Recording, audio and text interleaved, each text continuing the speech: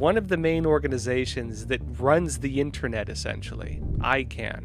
They're under pressure right now from different international organizations and countries trying to force them to enact censorship protocols at the fundamental level of the internet. Authoritarian governments across the globe of looking to fracture the internet in the hopes of controlling people some of my past reporting on this, how the Obama administration relinquished U.S. federal government control of ICANN, thereby exposing it to foreign censorship. The internet, because of Obama, is no longer protected by the U.S. Constitution as it was until Obama came into power and handed it off.